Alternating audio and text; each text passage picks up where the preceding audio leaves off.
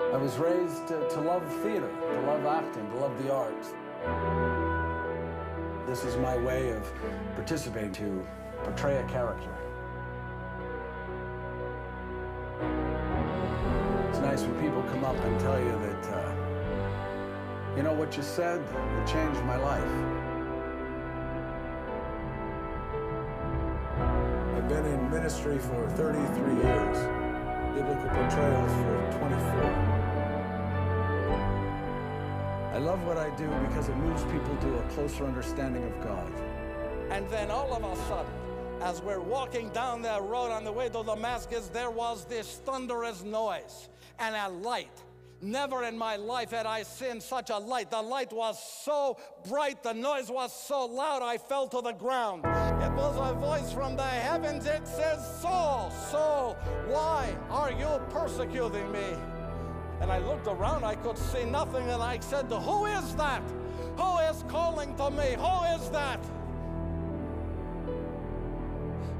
The voice said, It is I. He said, It is I, Jesus, the one you have been persecuting. It is I.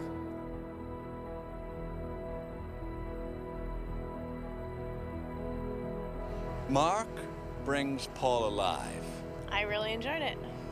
He was fantastic. Mark is definitely very passionate about what he does, and his faith really comes through in his performance. It's exciting, and yeah, when you go, you you get a better understanding. It's a better understanding of St. Paul. It makes you want to go and read it again. You see, uh, people read Paul's letters, and, and they, they don't realize he was a man with feelings and with, with failings and faults.